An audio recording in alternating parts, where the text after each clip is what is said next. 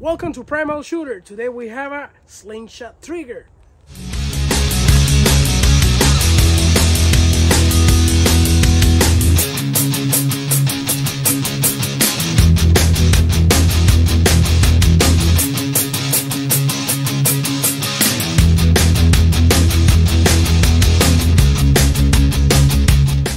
Guys, welcome back to Primal Shooter.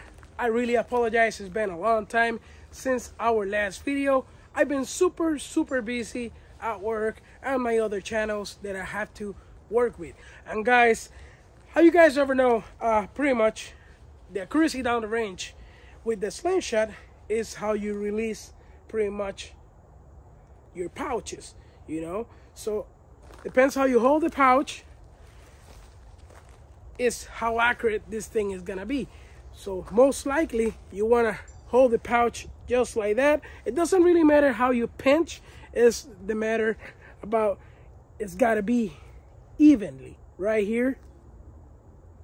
So that uh, pretty much ammunition flies straight instead going up, going down, or to the sides. And the last thing, you know, pretty much is your pull. You have to pull straight, and when you pull straight, that's how it goes. But some people have problems with the pinch, like me, that it take me a long time, uh, you know, to learn how to pinch uh, the pouch in the right way. Uh, you can pinch it this way, sideways, sides to sides. So for example, I used to pinch pretty much like this, thumb on top, and the index on the side.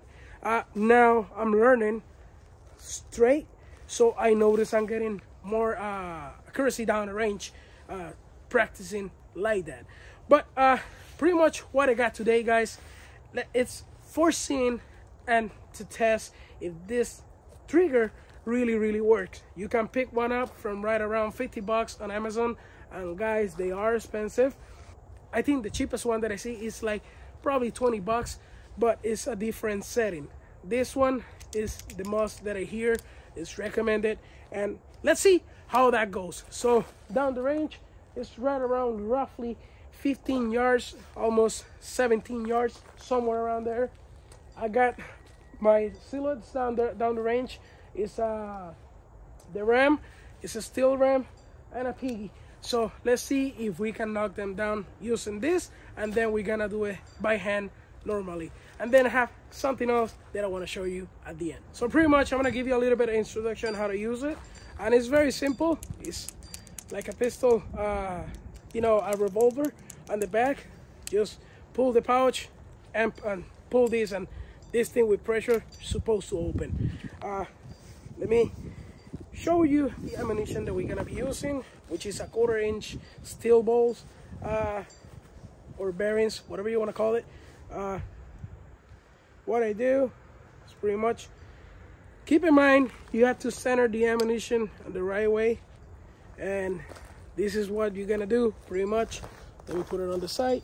So the ammunition is already on the pouch. You're gonna slide it in. And then you have to try and fix it to make it even. And let's see what kind of accuracy we can have down the range. Let's see if I can ever hit one this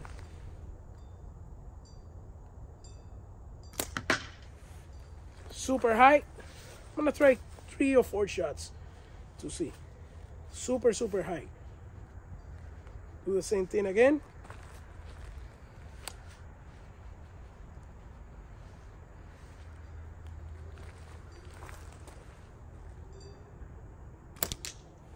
Nope. Now I went to the side. I'm doing the same thing over and over, trying to see if we can get one of them. I'm aiming to the big one, which is the ram and see if I can get it. Make sure you lock them. Sometimes they stay open.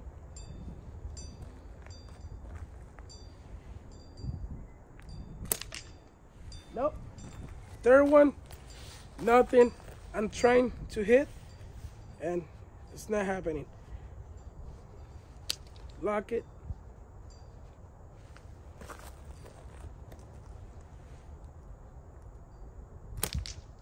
And the last one we didn't hit it so guys now let's try with bare hands doing the original way. First try, let's see if we can hit it with the slingshot on my finger now. Only using the pouches on my finger. Got it.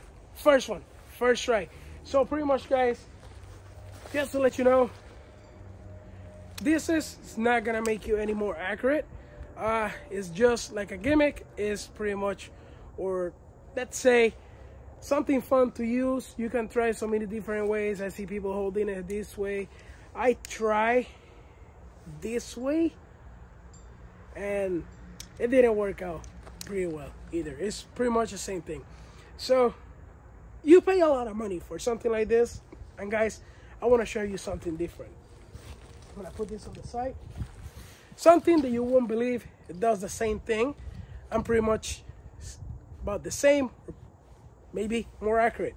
And it's this, paper clips. One of those that you can buy at the Dollar Tree, probably, let's say, or dollar store, 20 for $1. This thing does the same thing. So guys, don't waste your money on those kind of stuff. Learn with your fingers, or if you want to try, try this. All right, now let's try this and see if this really work or pretty much get you closer to the target. So same process. Make sure your bands are good. Inspecting every time. Put it on the center. And keep in mind, there are many difference. Don't buy a super little one and don't buy a big one. Buy the one that is about two fingers together. That size, okay? Then we're gonna hold it like this. Fingers on the back. Then you're ready. And pretty much it does the same thing okay keep it in mind it's not gonna help way too much uh, you need to practice a lot uh, I've been practicing with the trigger for right around two weeks trying to get any better or trying to find the best way to use it and guys trust me I didn't get any better I was right next to it but remember this kind of stuff they're not accurate because they kind of slide. Uh, they will help in the way that your fingers are not gonna kind of, you know, hurt at the end of the day. But after all, pretty much your fingers is the best way to do it.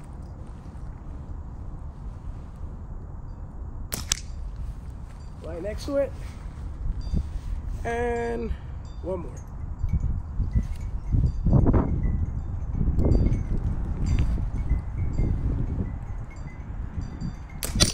Got it. You guys see it right there on target. So guys, this is gonna help you more. It's gonna cost you less than a dollar and you can get many of them and you see the result. Guys, think about before you spend money because all of those things, they're gimmicks sometimes and they don't really help you that much to be any better. Guys, I got a lot more coming up. I got a slingshot rifle.